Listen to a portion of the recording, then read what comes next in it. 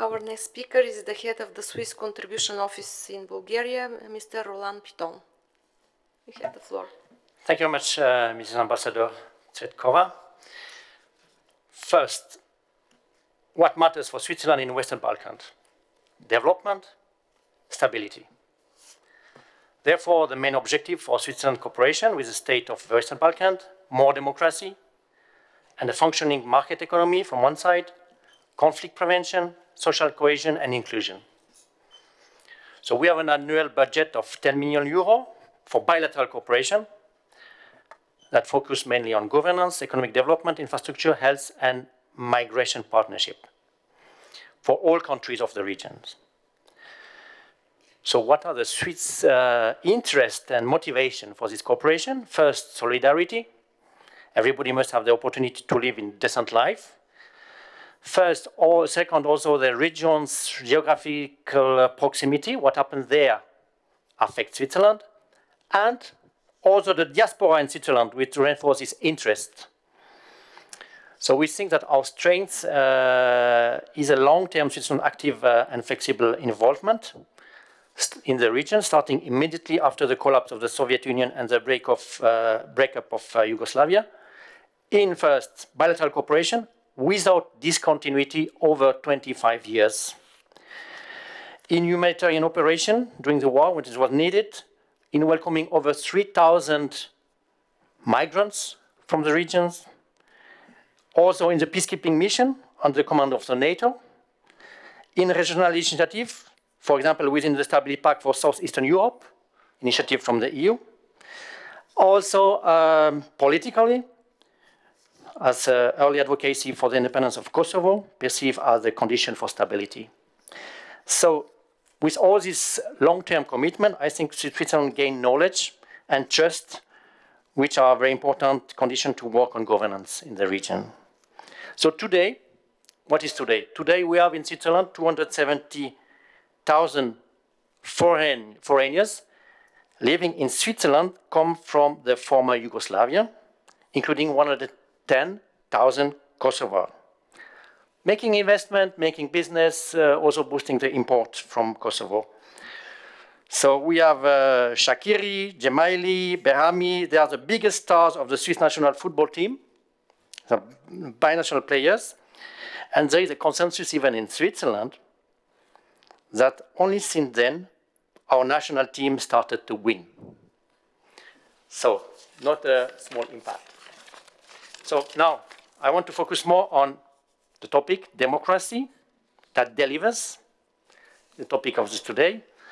So for us, the how is as important as the what. The process is as important as the objective. So democracy is uh, good governance, which is expressed, which is lived when political decisions are taken for the people, with the people.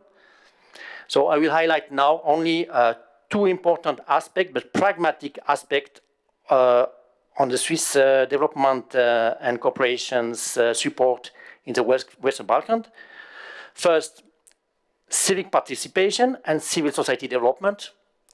And second, strengthening good governance at the municipal level we think that um, this should ensure that public services are geared to local needs. So we want to bring decisions closer to the citizens.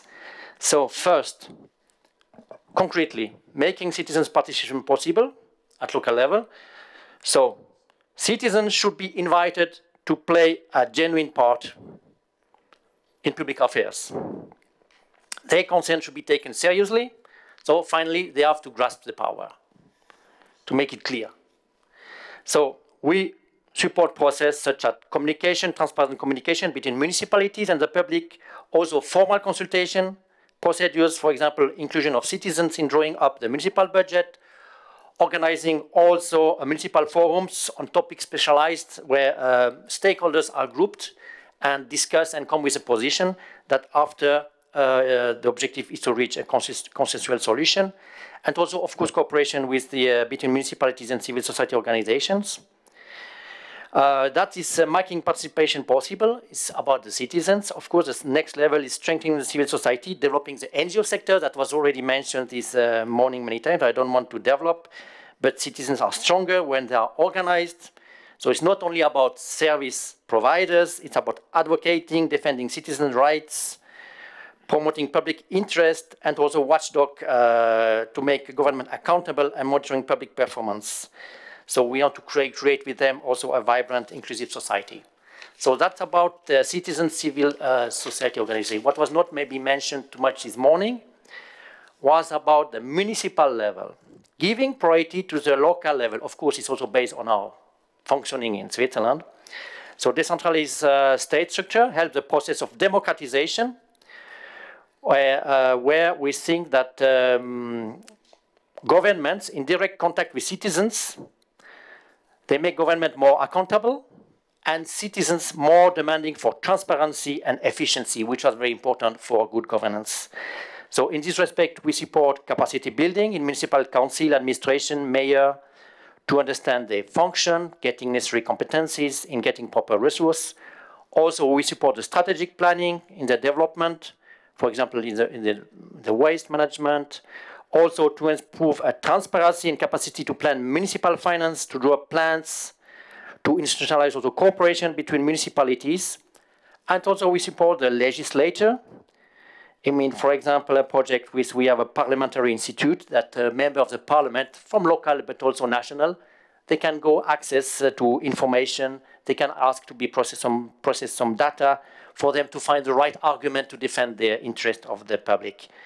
Last one is about the network of association of local authorities in house in uh, Southeast Europe, the NALAS that was initiated in the frame of the Stability uh, Pact. Um, this network comprised 16 national local authority associations from all the countries of Southeastern Europe.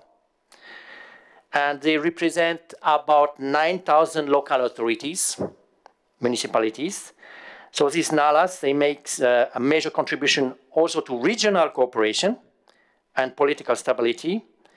It's an important source of information for local authorities, associations, and also the NALAS works with central government and EU with the aim of ensuring that the greater consultation of municipalities in the EU enlargement process because, because it's important, more than 80% of the reform being carried out in connection with EU accession, for example, waste, uh, water, etc., will be implemented by the municipalities. So this uh, focus is for us also very important. So to conclude, we have multi-partners. So SDC is working with very different partners from the uh, municipalities, local uh, ministries, standing conference of the town and municipality of Serbia, like Association of Municipalities, civil society, ministries. So for us, it's extremely important to diversify our partnership. So we uh, take into account efficiency and legitimacy of all these uh, these institutions. And uh, we, for us, it's also important to have a strong presence in the country. So we closely monitor all the projects we contribute to with a large team on the spot. We follow the context, we follow the project. We have office in each countries with strong local team to see what is done with our contribution. Thank you very much. Thank you very much.